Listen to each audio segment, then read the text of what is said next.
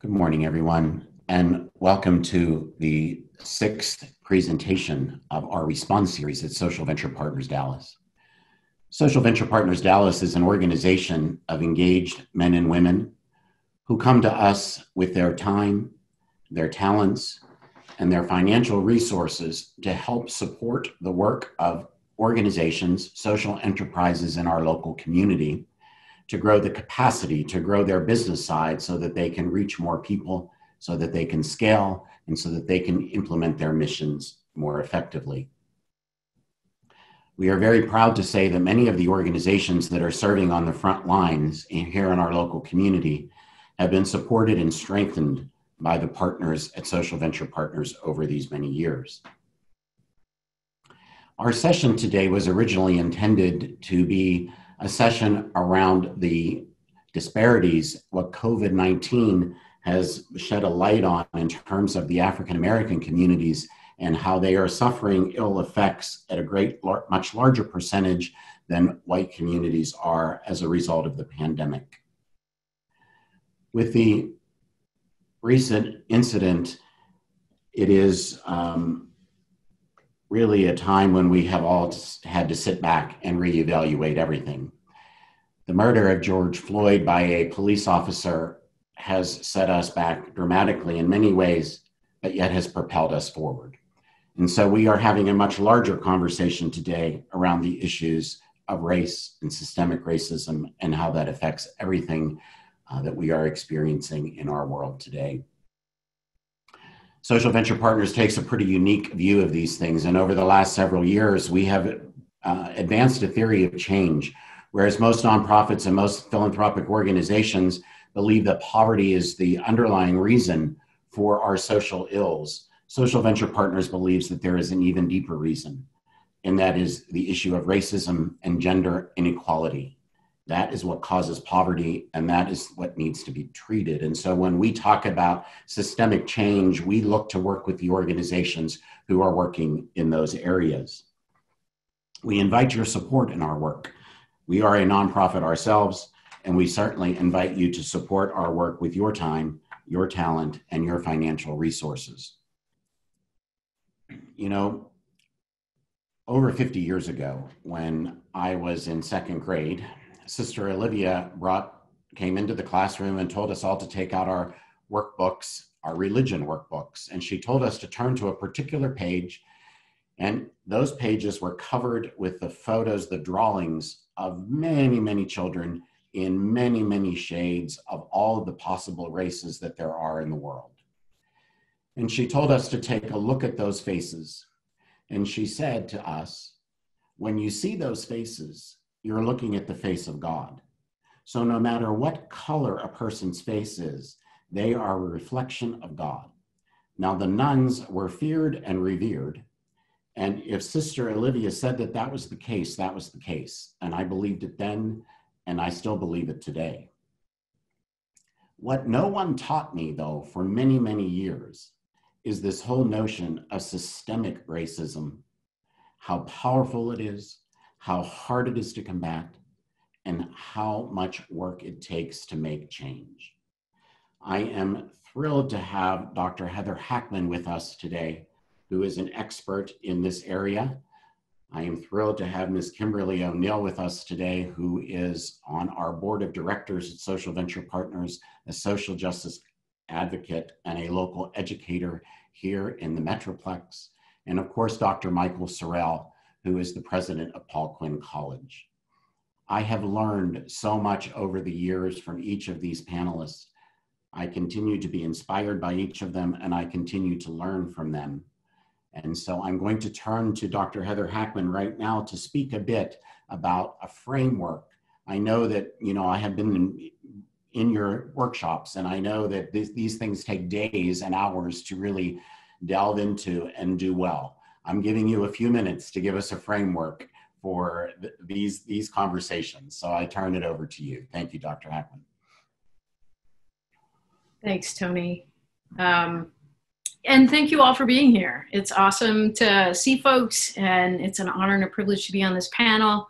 Um, I'm coming to you from Minneapolis, Minnesota. Um, where a lot has happened, a lot has been happening. Um, tragic, horrifying things have happened, and uh, quite remarkable things have happened. And so I think that's always the case when we talk about um, social change uh, regarding long-standing often thought to be intractable systems is that uh, it is quite intense and often quite difficult and challenging. And so it's an honor and a privilege to be with you all here today. And I think uh, the question that you shared with me earlier, Tony, was that kind of setting a framework for understanding systemic racism um, and how that operates. And let me just say um, that the information I want to quickly share is not mine. Uh, so let me be really clear about that. There have been four centuries of Native people and people of color um, articulating a concise and clear understanding of what um, dynamics of racial oppression look like, how they operate, how to change them in this country. And so I'm sitting in front of a, a, a number of books, not to make myself look smart, um, but just to center as best as possible um, the language and the voices and the framing that uh, BIPOC folks have put forward for a very, very, very long time. Um, so what I'll share is not mine. Um, it's just an articulation of critical race theory um, and, um, and so much of the work that Native folks and folks of color have done to try to educate our entire society about this. So having said that, one of the most common misunderstandings of racism is that it's one person to another person. And I think that understanding or thinking about racism just on this individual or interpersonal level is what allows um, the notion of what happened here in Minneapolis to be just one or two or three or four bad apples, um, and and belies the fact that there's a huge system in operation. So what we tell folks. We always do a pre-assessment when we go into organizations and train them. We ask them a definition of racism. Quite commonly, that definition is when one person treats another person badly because of the color of their skin and that's that's the symptom but that's not the issue and so what we ask people to do is cast your gaze up and start to understand or continue to understand dynamics of racism in the united states as this coupling of large systems and structures that have happened and can over a long period of time so systems and history and they continue to happen today and so that's why some folks are saying those officers are just bad apples. And a whole host of other people are saying, no, no, no, this is actually about the system, systems and structures. And very much like weather, systems and structures have a huge impact on the daily lives of people on the ground. So it's not that the individual and interpersonal levels are irrelevant. It's just that that's not the place where you're going to affect extraordinary change. You actually have to move up to the systems in order to have the most change um, that, is substantial and lasting. And very much like Congressman, Congressman Allred was referencing Bryan Stevenson, um, to simply say racism is just at that individual interpersonal level is a misdiagnosis.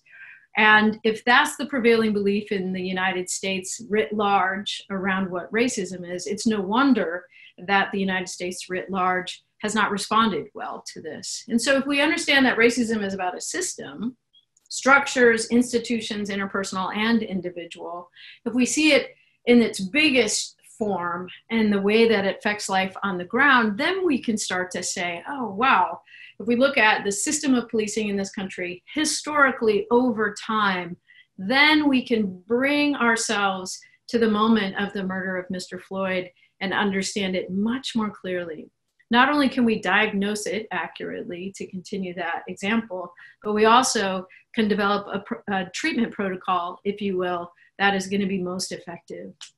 Um, rather than small little moves here and there, we can actually construct an approach to systemic and structural racism that is to scale to the problem.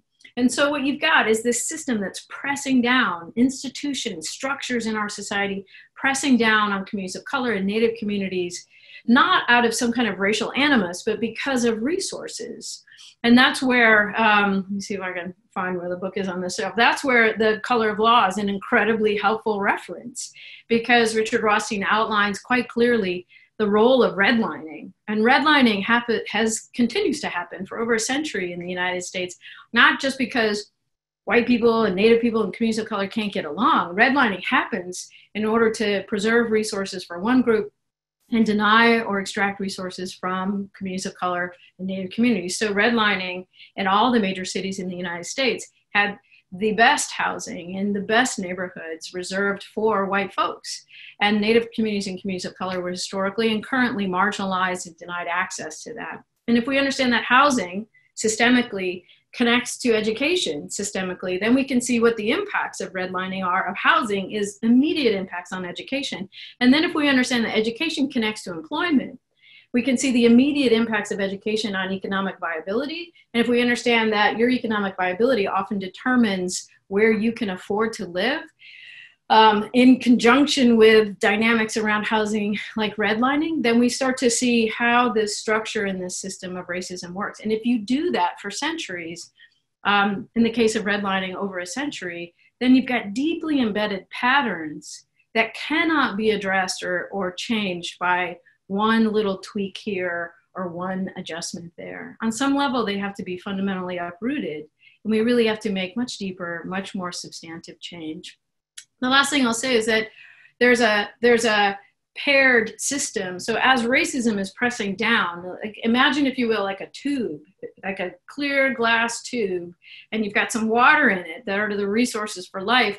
If you press down, if you apply pressure to one side of the tube, the physics of that tube actually sends more resources to the other side of the tube, right? You press down, seal it up, press down, the water will move in a disproportionate way. So, conjoined with the system of racism, as it presses down, it denies and extracts resources from Native communities and communities of color. For example, I so appreciate the congressman's commentary about how COVID is disproportionately affecting the Black community. But NPR reported yesterday, and Science Friday did a whole episode on Native communities and Latinx communities in California and the ways that COVID is in broad ways disproportionately affecting Native communities and communities of color. Similarly, if you have a lot of access to resources because of race or because of class, then you have had the opportunity to stay home Minnesota um, and have groceries delivered and have resources afforded to you without having to take the risks of getting exposed to COVID. So, as resources are denied and extracted, they don't go away, just like the water in the tube. It actually lands on the other side. So, the last point I'll say is that connected to the system of racism is this system and structure of whiteness, whose constituent parts would be white privilege. And if you're white and listening to this before you get like, don't call me privilege, I get it. I totally get that. But here's the deal. We're not saying you white person are a horrible white person. Talking about whiteness is again talking about a system.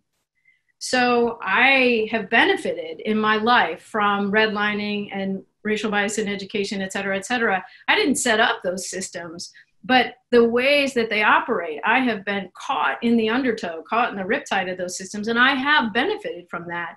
So analyzing the system of whiteness is not an attack on white people. Going back to the congressman, congressman's point, it's a diagnosis of what is actually happening. But what's the whole picture here?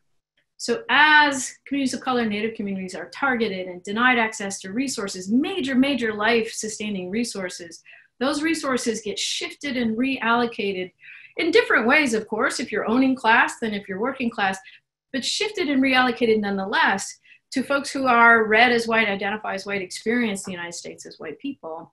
And so, if we're going to get the biggest possible picture about what is happening in terms of the system of racial oppression, it's important, critically important, to name racism and critically important to name whiteness because I, Mr. Floyd was murdered five blocks from my house, and I venture to say that if I had gone into Cup Foods and allegedly tried to pass a counterfeit $20 bill, I don't even know if that was true. We don't even know if that actually happened.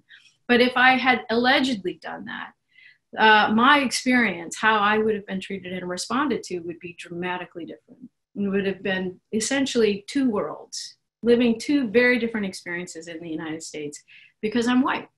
Because I'm white. Doesn't make me a bad person. So, again, if you're white and you're like, you're attacking me, we're not. We're diagnosing a system. But we have to have the hard, honest conversation, not just about how racism targets communities of color. We have to have the honest, hard conversation with open hearts, with a deep commitment and passion for a society that we care about, for Dallas, which you care about, have the honest conversation about both pieces of this and what's happening and what needs to change, not so that the system gets reversed, but so that we can all benefit. We can all live in safer communities, better educated communities. Like everybody wins through the lens of racial justice. It doesn't reverse the situation, it actually ameliorates the situation and moves our society to a dramatically different place that's rooted in equity, it's rooted in love, it's rooted in care, it's rooted in community health and thriving. Um, it's, it's rooted in all the things that allow people to be their best and fullest selves. Everybody, everybody. But we've got a long road to dismantle these systems because both of these components have been in our society for four centuries.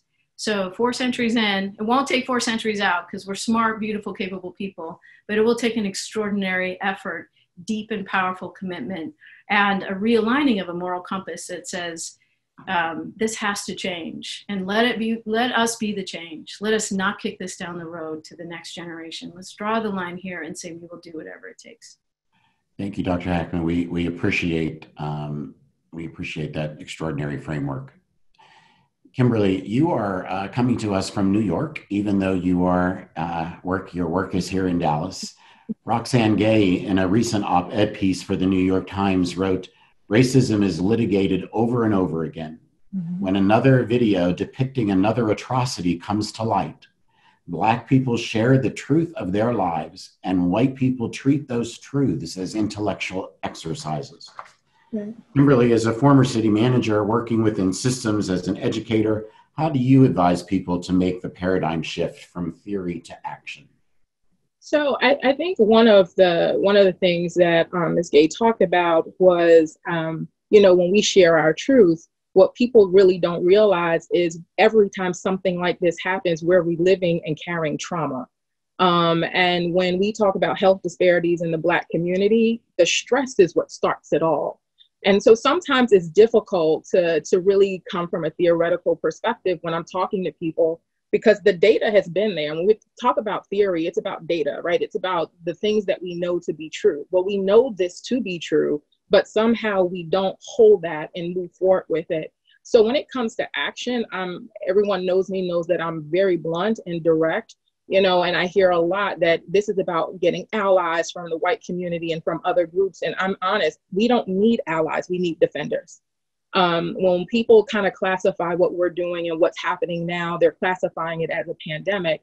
But honestly after 400 years we're still at war. Um, and we're at war with racism. And so we don't need allies in this fight. We actually need defenders. I don't need someone that says you know kimberly um, I really support you and I'm standing with you. I need someone to say, Kimberly, I know you were wrong and I'm going to do something about it. And I think that's that's where action comes from. We have to stop having people that just want to stand, um, stand when it's convenient, stand because it's trendy, um, stand because I can write something and it's great for optics or a, mar- a marketing spin. But this type of challenge and this type of issue that we're dealing with, and we've been dealing with it for over 400 years, requires that people move and do and not simply observe and, and hold in. Um, I've always want, um, I feel like when we're talking about um, racism, it almost feels like the Black community is responsible for fixing it. Um, and we're responsible for fixing something that we did not do we're just on the receiving end of it. And so our actions are coming from a place of we want to be treated equally, we want to be treated equitably, we want to be valued and respected, and quite honestly, recognized for the value and the economic imprint that we've put on this country, because that is true. But that's not always the case, and we're always defending that. And so, what I would hope that people would do if we're moving from theory to action I would hope that people would put out their statements, but put out a statement that has a realistic action. Look at what you're doing inside of your businesses if you're a business owner. Look at what you're doing inside when you're making decisions if you're a leader in any type of company. If you're a student, think about the things that you're thinking, especially my students. I require, when we talk about civil rights, I require that we have a portion where every group that I consider a mobilizing civil rights group, not just the Black community, that every student learn about every group that has impacted some level of significant change for equality and equity in this country. And I had one semester where students just did in one class where they just didn't want to do it. And I said, what you're telling me with your actions is that this is not important enough if you are inconvenienced. And in order for us to really push forward, we're going to have to get uncomfortable collectively. We're going to have to be inconvenienced collectively. And then we can really move forward with some action. Um, also, with action, I don't think that there's any civil rights movement that has moved the needle significantly in this country that was not sparked or continued by young people. Somehow, when it comes to change, we like to hold them back and we don't bring them to the table. And if we're really talking about long time, long-term changes, we've got to bring them to the table. They have a different type of energy, they have a different outlook. Um, I say, along with some of my peers, I'm on the second half of life. I probably have more years behind me, realistically, than I have ahead of me. And um, I need to be pouring that knowledge into someone else, but I need for that knowledge to be poured into someone else that's ready and prepared and the doors have been open for them to move and and train other people and to make some long lasting changes as well Thank you so much, Kimberly. I'm, I'm going to turn it to, to somebody who knows a bit about young people as well. Dr. Sorrell, uh, a few years ago now, Fortune magazine named you to its annual World's 50 Greatest Leaders list. Time magazine named you as one of 31 people changing the South. Higher education is an entrenched system. You have turned that system upside down with what you have done at Paul Quinn College here in Dallas. There are many examples of pilots that actually work to turn around some unjust systems in all kinds of fields. What we often lack, though, is the will to actually scale them. New young leaders are emerging right now in this anti racism fight. What advice do you have for them as Kimberly was talking about, to be effective in creating the change that is needed. What do you wish all well meaning white people and white philanthropy will learn from your success? And you have just a few minutes to answer those very broad questions, Dr. Sorrell. And I've been in the audience many times when you've spoken, so I know you can do it. Well, so I would say uh, a couple of things. Um, first of all, we cannot pretend that people haven't known what they should do all along. Right? None of this is a revelation. Okay? I mean, I, I, for the life of me, have been trying to understand what was so different about Brother Floyd than Eric Garner. Okay? Because we watched the same thing. I watched Eric Garner die. I listened to Eric Garner plead for his life. I saw it on YouTube. I watched the officers responsible for it be basically allowed to get off scot free. Now, I am thrilled that this moment occurs, but I just, you know, I'm not here to pretend that people don't know what the problem is. And so I say that at the outset of my comments to what I would share with young leaders, the same thing that I share with my students and have been sharing with them for 13 years. Right? Talk is cheap. Okay, there are going to be lots of people who try and talk you out of action. You have to be committed to sustained action. You have to understand that it is going to mean that you will be wooed by the siren song of the status quo, right? Individuals that will invite you to their tea parties. You will become the cause du jour. You will be popular in all the places that you are trying to transform. And, and you have to be honest with yourself. Are you here for their song or are you here for the change? And if you are here for the change, it means you have to continue to speak the unvarnished truth, no matter how uncomfortable it makes people. Find yourself a place where your style, your fit, your narrative, your language, your values fit, and then fight from that location.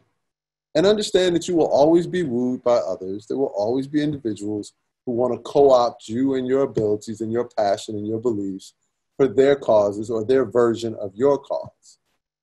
You don't do it. Right? Be, find your truth, be honest with your truth.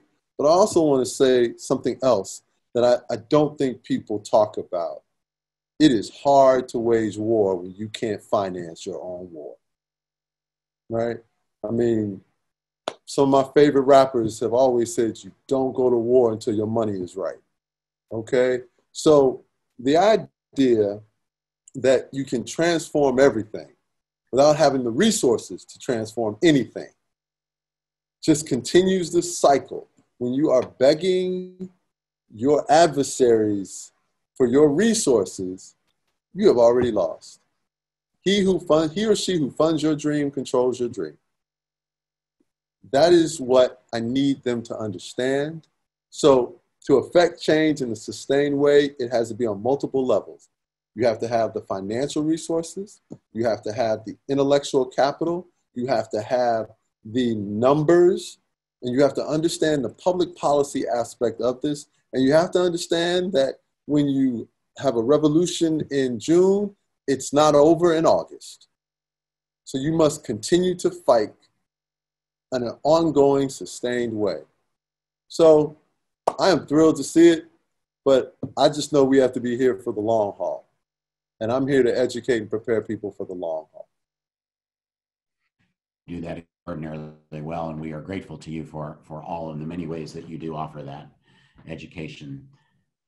Dr. Hackman, this notion of you know this rhetoric that we hear about how we don't see color and those kinds of uh, comments that folks often make when we know that that is simply not true. There is enough data, psychological data about the unconscious, and to tell us that that simply is not true. Talk to us a little bit about an understanding and help us with an understanding of unconscious bias and how it affects uh, each of us in the work that we, we want to do in this area. Um, yeah, I think that um, as, as folks on this panel have said, uh, all of us have said, that this is this system is much bigger than um, any individual. And so to pretend that I'm not being affected by the messages that are currently and historically in our society um, is simply not true. Is simply not true. And so um, certainly the depictions of, uh, for me when I was growing up, of Native people and people of color um, were always problematic, always uh, negative in terms of racial narratives. The depiction of white people was always positive, always, always, always. And so I've been heavily, heavily socialized throughout the course of my lifetime um, to subscribe to the deeply held narratives. And again, critical race theory doesn't call them stereotypes because that's way too superficial of a term. They're much more deep. They're deeply held racial narratives that the society um, constructs its engagement with the, the system of racism around in, in really profound ways. And so the notion that it's merely uh, unconscious bias, it actually is a, a, little too superficial. These are deeply, deeply socialized, deeply ingrained ideas that everybody has to pay critical attention to. Even communities of color um, have been, have received misinformation about Native communities or other communities of color. And so we've all got some work to do to extricate the misinformation that the system propagates. And why why does it propagate that? Because you have a system of racism and whiteness operating in a society that proclaims to be a democracy. So how what provides cover for that profoundly inequitable system? What provides cover for it is the story of race the story of race. And so um, the, uh, uh, black folks are like this and white people are like that. The the stereotypes, the unconscious bias, implicit bias, but actually is much more deeply held narratives. And so what's critical for white folks to kind of respond in line with some of the comments about action is not to take this um, uh, personally as an attack, not to simply say, oh, it's my own unconscious bias, but to pay attention to what's gone on historically um, and currently and take, as, as everyone has said, very direct, very concrete action. So what we try to do to support white people moving through that are four steps, wake up, catch up, show up, and clean up. And so wake up to the realities of systems and history in this country. Um, Michael Eric Dyson says it, you know it intuitively, something's not right. Um, Beverly Daniel Tatum used to teach the psychology of race. Used to ask students across the racial spectrum, um, uh, uh, if you could um, uh, come back as a person of color, a white person, who would you come back as? And everybody in the class, regardless of race, said white because it's a dominant racial structure. Most students of color said, but just for a day, you know, not not permanently, but just for a day, just for a day, because the dominant structure um, everyone understands intuitively how this society works and the mechanisms of this society along lines of race. And so, what we need to do is wake up to the reality, stop pretending that we don't know. And, and there might be some folks who really don't know. That means we have to get educated on how systems and history work. The catch up is to get very clear about current policies and the ways that racism is operating in those policies, whether it's policing, education, healthcare. How is healthcare operating in terms of racial bias? And there's ample information. Harriet Washington wrote the book Medical Apartheid, critically important piece to understand racism in the healthcare system then and now. So the catch up is to really understand the current manifestations of racism in concrete ways, in public policy ways, in ways that land on the bodies and in the communities of Native people, people of color. The show up is not to then, and this goes to your point earlier about philanthropy, is not then for me as a well resourced white person to say, oh, I have the idea and go do my own thing. The show up is to look for which communities of color, Native communities are taking strong, powerful leadership around this, have for decades, and how do I align my efforts and energies with those policy initiatives, with those actions, with those sentiments in terms of creating real and lasting change around racial justice. And then the cleanup is really what was alluded to earlier is a real substantial redistribution of resources, not in a way that reverses the system, but in a way that creates access that is profoundly equitable and really actually meets this kind of story that we tell about ourselves as a country really meets the aspirations of a democracy, of people having equitable access no matter who they are. So wake up to what has happened, catch up to what's happening right now, show up in support of leadership with communities of color and Native communities in advancing racial justice policy initiatives, racial justice agendas, um, and then clean up and have the hard conversation about resources and how do we really shift resources in healthcare in a way that accounts for this disproportionate reality around COVID and any other issue that's a life sustaining system or resource in our society. So there's work to be done book groups are good. I'm not dissing on that. You really need to pay attention to what's happening and learn. But this is a moment of action as well. And we all need to move. We all need to move. Appreciate that. Those, those steps are, are uh, excellent. And I want to um, go to Kimberly on this because the, the power of funding, as Michael Sorrell says, is critical. Um, the understanding the narrative of racism is critical but most philanthropy is uh, run by white people. And um, Kimberly, you have spoken a bit about the role of philanthropy and the adjustments that need to be made there. Do you want to uh, make some further comments about that for our audience today? Absolutely. So, um, one thing this entire season, so the, the COVID 19 pandemic going right into what we're seeing now with the protests around the country has sparked something in me that's been very disturbing. It, I think it's always been there, but it's it's just in your face at this point. point, and it's um, how funders, um, whether it's you know a private foundation, a larger foundation, you know some sort of larger foundation, um, any type of group that convenes foundations and brings them together, and then the nonprofits themselves, how the Black community is be, has been and is being used um, for our trauma um, and there's this level of saviorism to come in and save the Black community. But the one thing that I did not see and I have not seen are people authentically serving in accordance with their missions.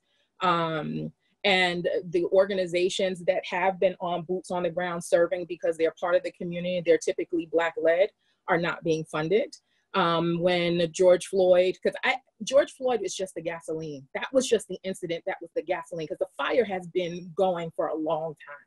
But we went Amy Cooper, and then we went to um, we had Ahmaud Arbery, Amy Cooper, and then George Floyd. All of that back to back. And so to see that the philanthropic and nonprofit sector, um, they were very everybody was very quiet about what was happening. It was disturbing to me um, because what it says to me, and it can be interpreted that way from the people that are intended as being the recipients of the of the, the services and the programs, is that my trauma is good enough for you to sell and tell, but my livelihood and my safety is not. And it is important that when you use black the black community, any marginalized group, if they are part of your base, so the nonprofit organizations, the funders that have the priorities to fund those particular nonprofit organizations, and then the organizations that serve as the umbrella for, for the funders, everyone at the end of the day touches the black community. And if we don't see statements with action coming out condemning it, it really says that you're not here for the right reasons. It comes across that this is more about assimilation than it is about corrective action um, when it comes to what should be right and equal and fair, um, fair for all of us. Um, I would really like to see from me, this is not coming from anyone else, I would really like to see that the funders and the philanthropists begin looking at the small and mid-sized nonprofit organizations that are founded and led by Black women and men in our communities that have been around for a while, how doing has stayed relevant during COVID 19 with little to no resources and have been doing more than organizations with six figure budgets, seven figure budgets, and higher. Um, and it's, it's, it's telling because it means that the one group of people in a social sector that we should be able to rely on for change have abandoned us in some way because it doesn't fit the narrative, the marketing narrative. And that has got to change. Who is going to help us if the group of people who said that this is about mankind and ensuring that humanity is at its best will not say anything? We can't expect the government to do it. We can't expect corporations to do it. If those that are saying that my purpose and my reason for being here is to do better and to make sure everybody is at their best, won't say anything at all.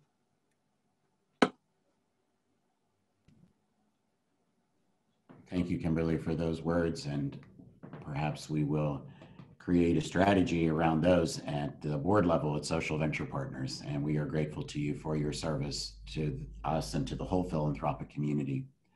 Thank you. Dr. Sorrell, our friend Miguel Solis wrote an op-ed, op-ed piece for the Dallas Morning News where he said a path to reconciliation exists and it is rooted in a comprehensive policy of recognition and reparation.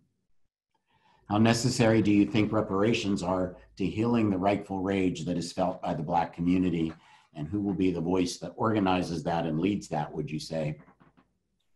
So, um, Reparations is an interesting topic. I actually taught a course on reparations this past semester at the college, and the challenge was design a program for reparations that was capable of garnering political support in this era that will not cost your advocates their political seats. Right? So that, that was the challenge. It's an acknowledgement that for every step forward that we have seen historically, the backlash has been tremendous we are living in the backlash of Barack Obama, right? Donald Trump is the backlash for President Barack Obama, right? No matter what anyone else wants to say, no matter how they want to characterize it, like we know that's the truth. Um, so when we when we talk about reparations, I think it's important to understand that reparations can be almost any can take almost any form, right? I mean, let's start with housing policy, creating equitable housing policies that overcome the racist practices that have been employed for years. I mean, you know, the color of law, which you referred to, Heather. Like, I mean, just there, there's all. Once you fully understand that we got the country that we designed, then all of these things start to start to unravel in a sense. So mean, reparations would be amazing if when you when when they were distributed, the rules weren't rewritten to eviscerate whatever reparations you were given. So, I mean, the first thing is how about just the establishment of fair, equitable, and sustainable policies?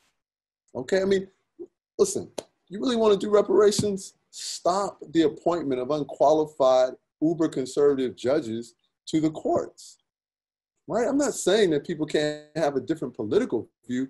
I'm saying be qualified. Right? I mean, these are, you don't have to recreate the wheel to affect change. we just have to do the little things that make sense. So if it were me, if if I were going to address these issues in a systemic and sustainable way, number one, I would address redistricting. Right, the gerrymandering of districts has made it virtually impossible to have equal quality representation. So that's number one. Number two, I would transform the housing policies so that people have an opportunity for home ownership in communities that the homes hold value because we know that the single greatest way to build wealth in this country is through home ownership right but again if when you are buying your home the rules that apply to you are different than the rules that apply to everyone else then you didn't get what you bargained for. All right? So, so i think we have to address those issues. Number three we've got to speak to the disparities in school funding. All right? We recruit students from all over the country. I don't need anyone to tell me what goes on in the public schools of this country because I go into the public schools of this country. I know that the student who is being educated in a under-resourced community in the inner cities of Detroit, Chicago, Washington, New York, Dallas, Houston, LA, Oakland is not getting the same value, the same resources, the same education as that student that goes to school in Plano, that goes to school in uh, northern suburbs of Chicago, going to school in the Virginia suburbs. Again, so we have to address those issues. So if you want to talk about reparations, how about we just make sure that laws that we employ are fairly enacted on everyone?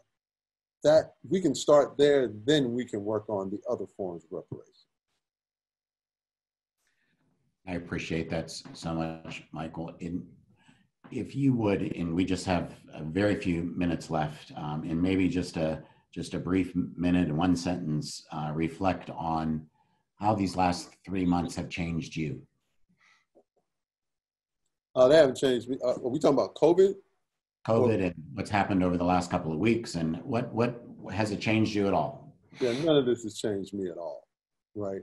If anything, um, it has emboldened me in a sense, and not the George Floyd piece, because I mean, I'm sorry, the, the George piece, I, because I already knew that, right? Like that, that's my reality. Okay, I have been profiled, I have been harassed, I have been, you know, accosted by the police and put in handcuffs, right? Like I know that experience, right? I know it was for doing nothing. Absolutely nothing. I've had the officer put his hand on his gun when he's trying to explain to me exactly what I did to merit being pulled over. Right? And by the way, that wasn't 15, 20, 25 years ago. Okay? So I, I know. All right. So uh, that, that, that, that didn't change me. What, what has changed me is recognizing how incapable we are of a society of sustained sacrifice to effect permanent change. And that comes from COVID 19 because we have adopted practices as if this thing has gone away. And it's actually worse today than when we sheltered in place. but we don't have the discipline, we don't have the capacity for the sacrifice that is necessary. And I submit to you, it's because too many people don't know people who have suffered under this disease. Because if you did, if you watched your people be crippled by this, and by the way, this isn't the flu, this isn't a week or two, you're down. I don't know anyone that has had it, been afflicted with it, and didn't suffer painfully for a month or more. All right, like so, so that what that has taught me is yet again the tyranny of the majority and the status quo has to be battled because they're wrong. My peers in higher education that think it's okay to send people back to school in the fall in person because they can control this, what institutions are they watching? Because I don't know what behavior of students that their customers say. And I'm going to allow for the fact that maybe they just have the ability to regulate behavior in a way that I don't. Right? But if anything, what this has taught me is that those of us that recognize madness have to speak up against madness aggressively, often, and continuously. Thank I'm not Mike. sure I wasn't doing that anyway. So, you know, that's Your, your leadership is astounding and we are grateful for it. And we're grateful that it's here in our community in, in this area. Thank you. Kimberly, we just have a few seconds. How has this changed or has it? No, it has. Um, it it has because those who are close to me know that to, to the present point that I was in isolation. I am one that recovered from COVID nineteen, um, and I'll never be the same. I will never be the same. I think what it has done for me is re-energize me to go harder um, and to be more vocal because I know what it feels like to think that you're not going to make it the very next day. And so um, the issues that we're, we're facing now between the pandemic and, and the war on racism, those are things that have to be addressed. And um, I think that we have to find a way, um, and I'm going to find a way to remain committed um, to see to see that change. So for me, it's about policy. It's about getting people in and out of office. It's about showing our economic blueprints um, when it comes to the country and more and most importantly sharing the history of this country we've got to stop talking about it just because it's not here legally anymore doesn't mean that we don't need to address it and talk about it because we're not going to move forward if we don't understand where we've come from Thank you, Kimberly. Dr. Hackman? Um, I absolutely appreciate everything that Michael and Kimberly have said, not just in those two reflections, but this entire time. So thank you for your wisdom and your experience. Um, and for me, ditto to those concepts of kind of the larger social dynamics uh, in COVID, the one thing that stands out in addition to that is um, how toxic an I mentality is. And, and that the only way we're going to make it is if we move from the I to the we. That is the only way that we will survive if we live in community, work in community. If I see my neighbors' healthcare and well-being as important as my own, um, if I start to think about the greater good rather than I want to go to the beach, I want to go to the party, I want to go to the restaurant, so I don't care what you think. Um, that idea has always been toxic, but it is literally going to kill people now. It will literally kill people now. So, this notion of individuality and rugged individualism and I, me, me, enough about me, what do you think about me? That kind of standard jam in mainstream US society, it has to fundamentally shift to a collective we. And many marginalized communities around race or class already know that, already know that the way to survive is interdependence um, it's those that have excessive amounts of resources or even moderate amounts of resources that do not understand that the the ethos of I is actually a very toxic social notion. But we're seeing that it's actually quite toxic in terms of COVID, and so we have to shift to a we. And I think that this particular period of three months hopefully has helped some some people in this country understand that. Thank you, Heather. I started off this uh, panel by telling the audience how much and how grateful I am to each of you for all the learnings that you have provided for me over these many years. And I know that you have done the same once again for me and for our audience. So I thank you very much for your willingness to join this conversation. You know, George Floyd has been brought home to Texas. His funeral is being televised here and has started at 11 o'clock. We are two minutes behind that, but we want to acknowledge his death, acknowledge what that symbolizes, but most importantly, understand that now there is a family that is saying goodbye to their loved one. And so we want to acknowledge that, acknowledge how not only communal these losses are, but how personal they are for many people. At the end of the day, we have nothing but our humanity to share, which encompasses a couple of virtues that we share in common that virtue to seek after justice and the virtue of fortitude. It's going to take an awful lot of strength to continue this work. But as many of our panelists said, when we are doing this work together, we can actually accomplish it. So, as we end our session, I would like you to take just a few moments of silence as the funeral in Houston begins. And I am grateful to you for the work that you do for our entire community. Thank you.